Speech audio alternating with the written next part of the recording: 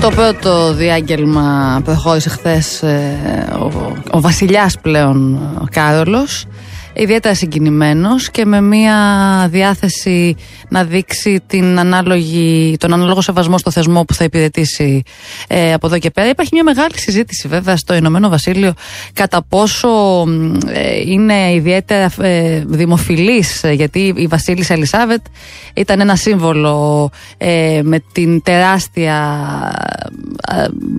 πορεία που είχε ακολουθήσει όλα αυτά τα χρόνια ε, και υπάρχει μια συζήτηση κατά πόσο ε, είναι αντάξιο των προσδοκιών, ε, όχι από άποψη ε, του κατά πόσο μπορεί να υπηρετήσει το θεσμό, κατά πόσο είναι δημοφιλής και κατά πόσο σκέφτεται να παραχωρήσει την, ε, το θρόνος στον ε, γιο του Βίλιαμ που είναι ιδιαίτερα αγαπητός για να δώσει και μια νέα πνοή στην μοναρχία.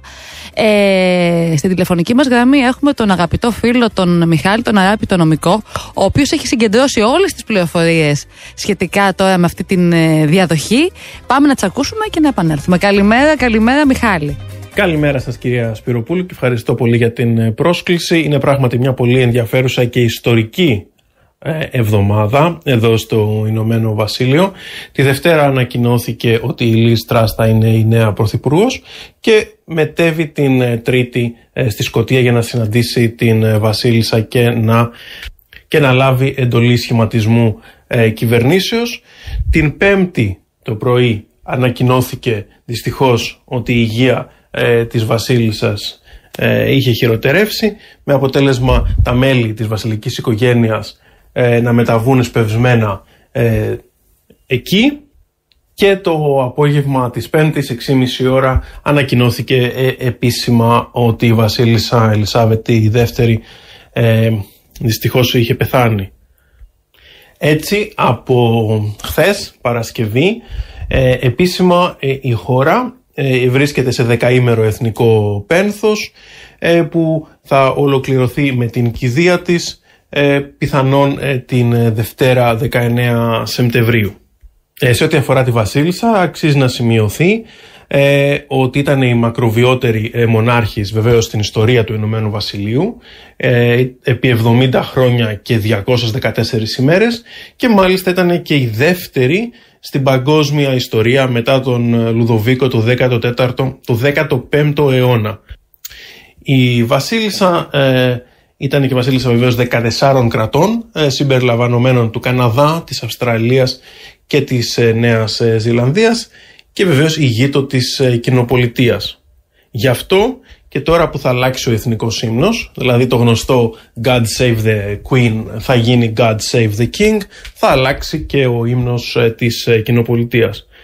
Σε ό,τι αφορά τα διαδικαστικά και την καθημερινότητα ε, θα δούμε κάποιες αλλαγές, διότι βεβαίως θα αλλάξουν τα γραμματόσημα, ε, τα διαβατήρια, τα χαρτονομίσματα, ε, οι στολές των ε, στελεχών των σωμάτων ασφαλείας, δηλαδή της αστυνομίας, των ενόπλων δυνάμεων κτλ.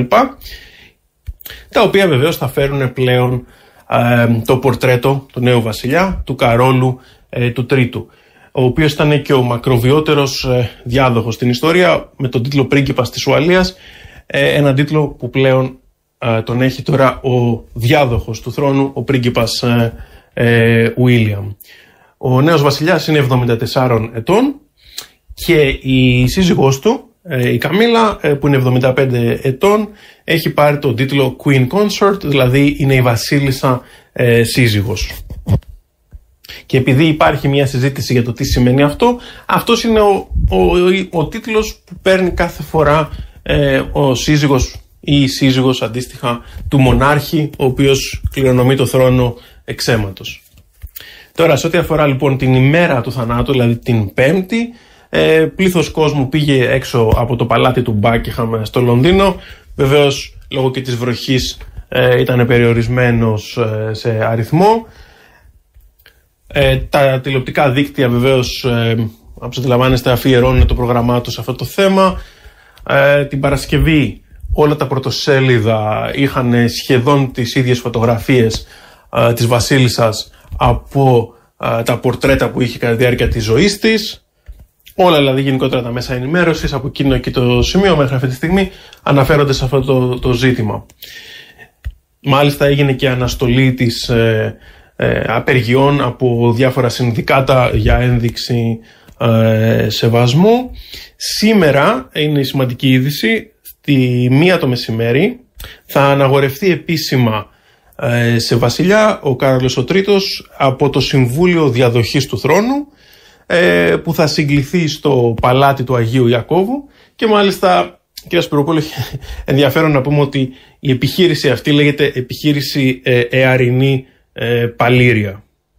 Σε ό,τι αφορά λοιπόν την ε, Βασίλισσα, θα μεταφερθεί από το κάστρο του Μπαλμόραλ που βρισκόταν στη βόρεια ε, Σκοτία, στην πρωτεύουσα της Σκοτίας του Ενδιβούργο και μετά θα μεταφερθεί στο Λονδίνο, όπου βεβαίως και στο Ενδιβούργο και στο Λονδίνο θα μπορέσει ο κόσμος να πάει να δει το σκήνομα και να αποτίσει ε, φόρο τιμής.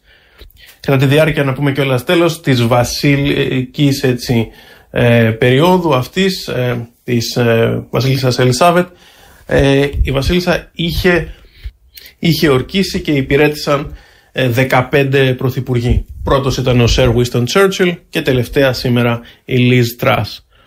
Μια λοιπόν εξαιρετικά σημαντική στιγμή και Σπυροπούλου ε, θα, θα παρακολουθούμε τα τεκτενόμενα και με χαρά θα τα ξαναπούμε.